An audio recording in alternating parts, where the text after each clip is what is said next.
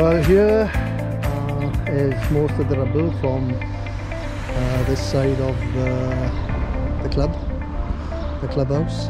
Um, yeah, and there is the remnants of um, the Hendy Cricket Club.